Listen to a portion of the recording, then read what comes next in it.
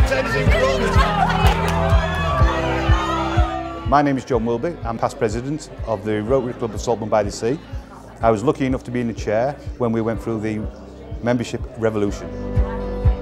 My name's Julie and John's wife and I've been a proud member of Rotary Club of Saltburn by the Sea for two years now.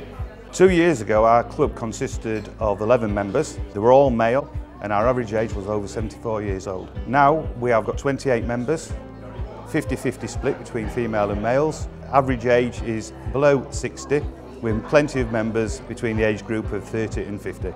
The way we attracted new younger people, um, first of all we started inviting friends and family to our social events um, so they could see how much fun we had as a club and then we invited them to our weekly meetings and then they could see the ser more serious part to it and what we're actually there for but it just showed that we knew how to have fun, we, we weren't all just serious and sat around the table. I'll have two winners please. Yeah, no problem. you tell me. Uh... We've got a brilliant mix at the moment. Yeah. We've got experience, but we've got newness, we've got vibrancy, we've got energy in the club now, and they both feed off each other, don't they? Yeah.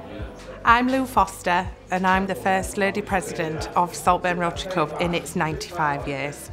I'd not really thought about joining Rotary before, and it was through a friend um, that we were invited to a lot of the social events. If somebody had asked me what, what's Rotary, I would have said a bunch of men in suits meeting once a week.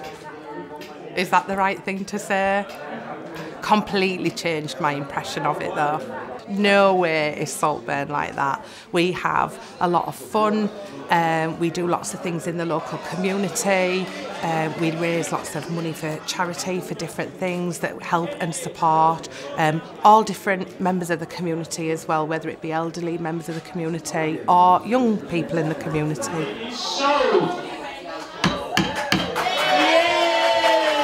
I think the biggest project we've done, which by no coincidence were by two new members, and when they were associate members uh, when they started, it was the Rota Kids. And we've got a very vibrant, we've got a, it's thriving, is our Rota Kids Club. It's been going two years now, and that's the biggest project we've done. My name is Fred and I'm seven years old. I like to join the Rotary Club because my granddad and uncle do it. You ready, Freddie? You get to raise money to people who need it and get to have lots of fun. We've also had lots of like charity balls, raising thousands for local community, and all these have been organised and executed by new members.